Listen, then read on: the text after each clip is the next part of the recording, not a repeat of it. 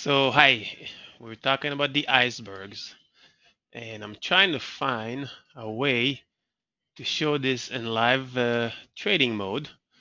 And what I'm going to do is I'm going to put an order. This is a live account. I'm going to try to sell it right up here at 57. Right now, we're showing 9 on the offer. So I'm going to go ahead and click. And if all 8 went through, it would show much higher quantity. And as you can see, it only shows me, it only increased the quantity by one. Now, obviously, I don't want to get filled. This is a live account, uh, but I hope you're able to see. I'm going to try to slow it down again uh, in editing. But that was the purpose of Iceberg. Instead of showing an eight lot, it only added one lot to the queue of the order.